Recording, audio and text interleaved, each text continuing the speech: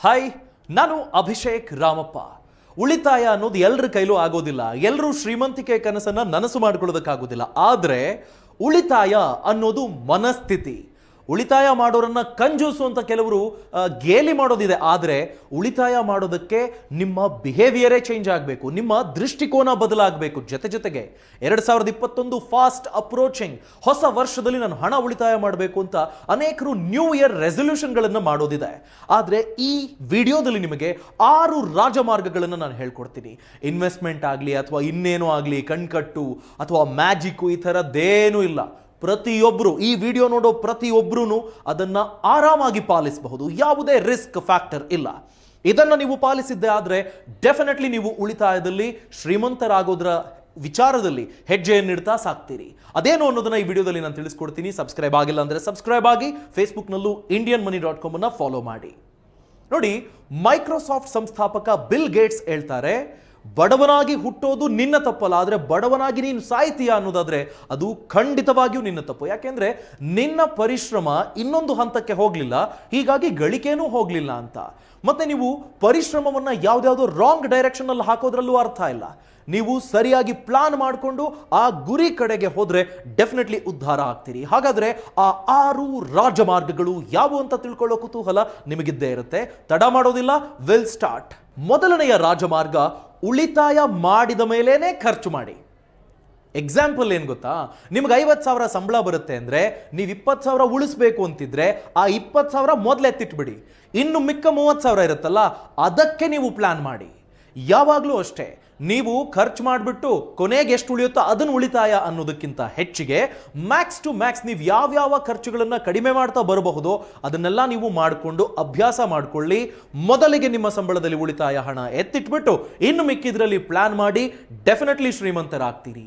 ಇಲ್ಲಿ ನೋಡಿ, ಉಳಿತಾಯ ಅನ್ನೋದು ಕುಟುಂಬದ ಪ್ರಮುಖ ಒಬ್ಬ ಮಾಡೋದ್ರಿಂದ ಆಗೋದಿಲ್ಲ. ಇಡೀ ಕುಟುಂಬಸ್ಥರೆಲ್ಲ ಕೈ ಜೋಡಿಸಿ ಪ್ರಾಮಾಣಿಕ ಪ್ರಯತ್ನ ಮಾಡಿ ಹಣದ ಬೆಲೆಯನ್ನು ತಿಳ್ಕೊಂಡವರೇ ಆದರೆ ಆ ಕುಟುಂಬ ಶ್ರೀಮಂತಿಕೆಯನ್ನು ಕಾಣೋದಕ್ಕೆ ಸಾಧ್ಯ. ಇದಕ್ಕೆ ನಾನೊಂದು ಇಂಪಾರ್ಟೆಂಟ್ ಸ್ಪೆಷಲ್ ಟಿಪ್ಪನ್ನು ಕೊಡ್ತೀನಿ.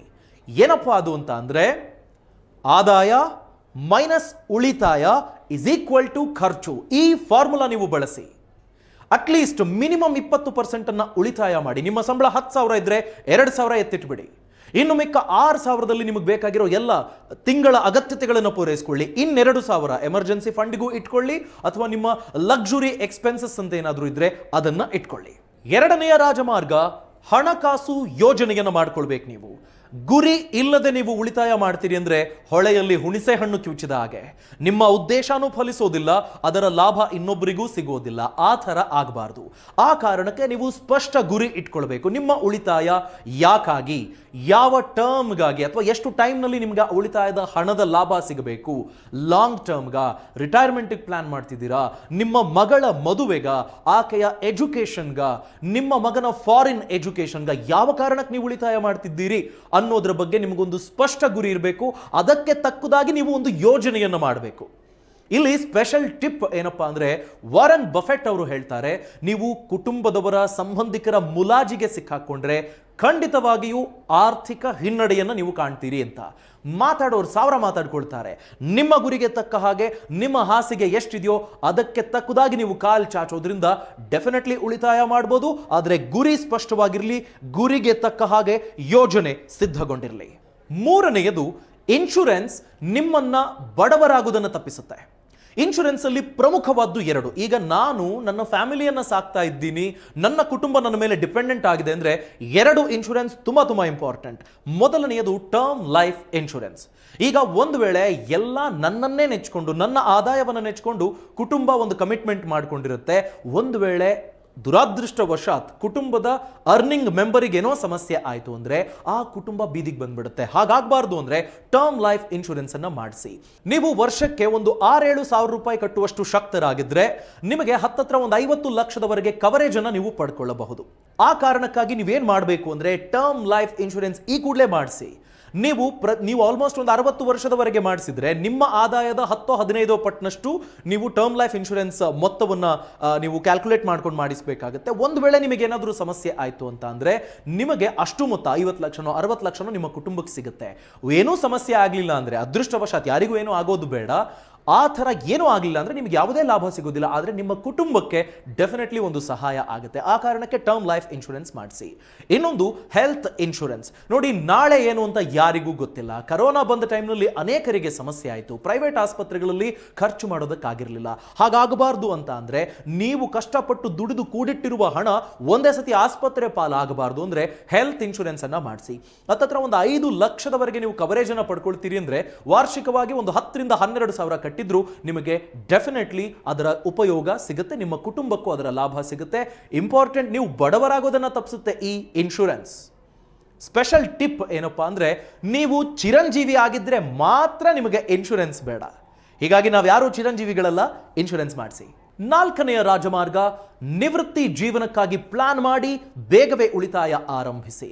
ನೋಡಿ ನಾನು ಆಗ್ಲೇ ಹೇಳಿದೆ ನಾವು ಆಲ್ಮೋಸ್ಟ್ ಈಗ ಒಂದು ಕುಟುಂಬದ ಹೆಡ್ ಅಂತ ನೋಡಿದಾಗ ಮಕ್ಕಳು, ಮಕ್ಕಳ ಎಜುಕೇಶನ್ ಅವರ ಲೈಫ್ ಮದುವೆ ಈ ಥರನೇ ಯೋಚನೆ ಮಾಡ್ತಾ ಇರ್ತಾರೆ. ಒಂದು ವೇಳೆ ಮಕ್ಕಳು ನೋಡ್ಕೊಂಡಿಲ್ಲ ಅಂದ್ರೆ, ಅಥವಾ ರಿಟೈರ್ಮೆಂಟ್ ಆದಮೇಲೆ ನಾವು ಮನೆಯಲ್ಲೇ ಕೂತು ತಿನ್ನುವಂಥ ಪರಿಸ್ಥಿತಿಗೆ ಬಂದಾಗ ಯಾರು ನಮ್ಮನ್ನ ನೋಡ್ಕೊಳ್ತಾರೆ? ಅದಕ್ಕೂ ನಾವೊಂದು ಪ್ಲಾನ್ ಮಾಡ್ಕೊಂಡಿರ್ಬೇಕಲ್ವಾ? ಆ ಕಾರಣಕ್ಕೆ ಉಳಿತಾಯ ಆದಷ್ಟು ಬೇಗನೆ ಆರಂಭಿಸಿ. ನಿಮಗೆ ಹೆಚ್ಚೆಚ್ಚು ಶಕ್ತಿ ಇದೆ ಅನ್ನುವಾಗ್ಲೇ ಹೆಚ್ಚೆಚ್ಚು ಉಳಿತಾಯ ಮಾಡಿರಿ. ವರ್ಸ್ಟ್ ಪಾಸಿಬಲ್ ಕೇಸಲ್ಲಿ ನಿಮ್ಮನ್ನು ಯಾರೂ ನೋಡ್ಕೊಂಡಿಲ್ಲ ಅಂದ್ರೆ ಇರೋ ದುಡ್ಡಲ್ಲಿ ನೀವು ಜೀವನವನ್ನು ಸಾಗಿಸಬಹುದು. ಹೀಗಾಗಿ ರಿಟೈರ್ಮೆಂಟ್ ಬಗ್ಗೆ ನಿಮಗೆ ಒಂದು ಯೋಚನೆ, ಯೋಜನೆ ಇರಲಿ. ಆದಷ್ಟು ಬೇಗವೇ ನೀವು ಉಳಿತಾಯವನ್ನು ಆರಂಭಿಸಬೇಕು. ಪಿ ಪಿ ಎಫ್ ಆಗಿರಬಹುದು ಅಥವಾ ಇನ್ಯಾವುದಾದ್ರೂ ಫಿಕ್ಸೆಡ್ ಡೆಪಾಸಿಟ್ ಮಾಡ್ತೀವಿ ಅನ್ನೋದಾದರೆ ಒಂದು ಬಲ್ಕ್ ಅಮೌಂಟನ್ನು ನೀವು ಸೇವ್ ಮಾಡಿಟ್ಕೊಳ್ಬೇಕು. ಬೇರೆ ಬೇರೆ ಕಮಿಟ್ಮೆಂಟ್ಗಳನ್ನು ಬೇಗವೇ ಮುಗಿಸ್ಕೊಂಡಿರಬೇಕು. ಈ ಥರ ನೀವು ಪ್ಲಾನ್ ಮಾಡ್ಕೊಳ್ಬೇಕು.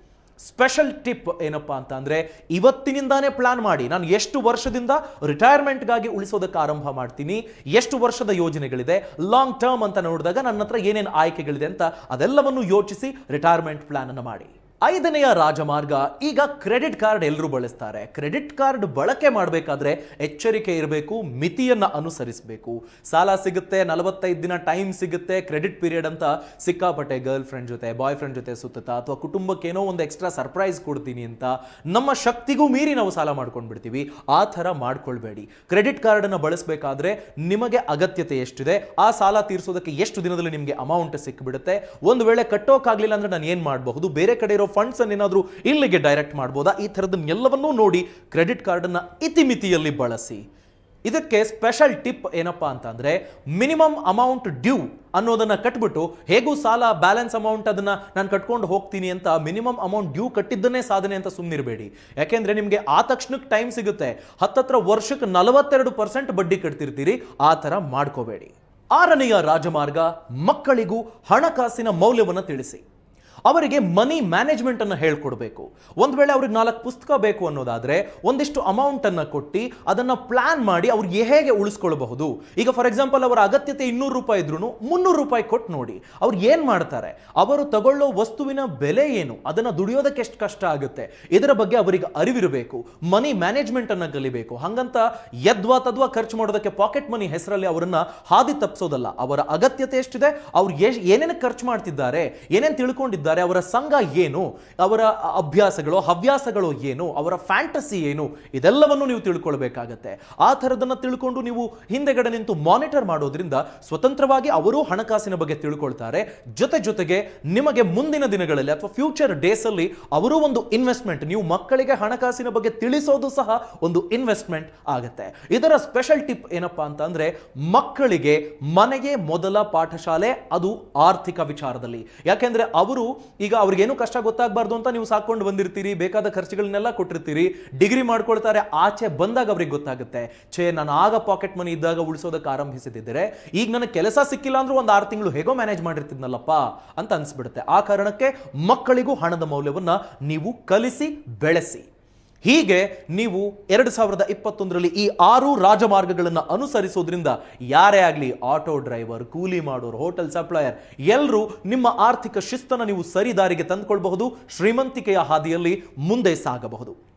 ಫಿನಾನ್ಷಿಯಲ್ ಫ್ರೀಡಮ್ ಅಪ್ಲಿಕೇಶನ್ ಅನ್ನು ಡೌನ್ಲೋಡ್ ಮಾಡ್ಕೊಳ್ಳಿ. ನೀವು ಮಾಡೋ ಬಿಸ್ನೆಸ್ಸಿಗೆ ಅಲ್ಲಿ ಅನೇಕ ಕೋರ್ಸ್ಗಳಿದೆ ಮೆಂಟರ್ಗಳು ನಿಮಗೆ ದಾರಿ ತೋರಿಸ್ತಾರೆ. ಆ ಬಿಸ್ನೆಸ್ನಲ್ಲಿ ಗೆದ್ದು, ಈಗಾಗಲೇ ಯಶಸ್ವಿ ಆಗಿರುವಂಥವರು ನಿಮಗೆ ಮಾರ್ಗದರ್ಶನವನ್ನು ಮಾಡ್ತಾರೆ. ಫಿನಾನ್ಷಿಯಲ್ ಫ್ರೀಡಮ್ ಈ ಕೂಡಲೇ ಡೌನ್ಲೋಡ್ ಮಾಡ್ಕೊಳ್ಳಿ. ಶ್ರೀಮಂತಿಕೆಯ ಮೊದಲ ಹೆಜ್ಜೆಯನ್ನು ಇರಿಸಿ ನಮಸ್ಕಾರ.